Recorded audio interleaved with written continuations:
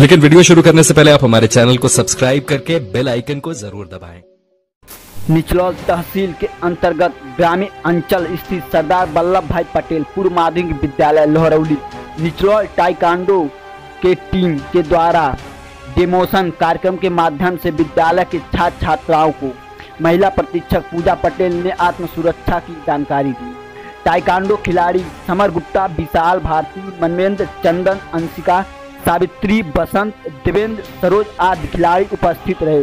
इस अवसर पर विद्यालय के प्रबंधक श्री प्रभु प्रसाद प्रजापति और अध्यापक गण रजनीश चहिंद श्रीमती पुष्पा देवी, श्रीमती गीता देवी, अश्वनी पटेल, रिंकू, आप सभी ने टाइकांडो खिलाड़ियों के प्रदर्शन की सराहना करते हुए इनके उज्जवल भविष्य की कामना की।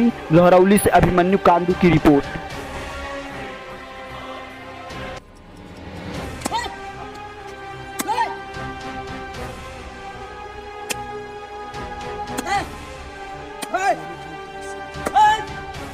Hey!